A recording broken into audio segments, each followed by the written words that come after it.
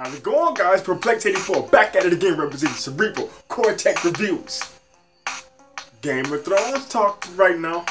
I just seen the opening five minutes of the show. I gotta go out and say it. I'm gonna go out and brag. You heard it right here on this channel. Cortech Reviews, Cerebral Cortech Reviews. You heard it on this channel first. That they're gonna start bringing back characters to the show. Game of Thrones, R.R. Martin is not gonna pull any punches. He's not gonna hold anything back. If he's gonna take you off the show, he's gonna do it in a nasty, disgusting, epic fashion. But back to what I'm saying. The Hound. I was saying long ago in my previous episodes that the Hound never died. Just like I believe other characters did not die. Because when it came to the verdict being drawn, when it came to the verdict being settled, there was no follow through.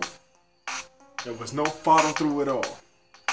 And they didn't show Arya, and she actually, actually Arya Stark never killed the Hound. He was like, do it, do it.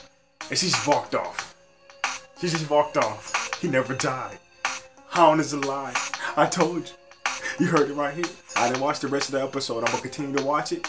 But I just seen my guy, he's one of my favorite characters. When I seen him picking up that log in this episode, I was just so hyped, man. The hound breathes. The hound lives. I'm out. Plex84. Hit the subscribe button. I'm out.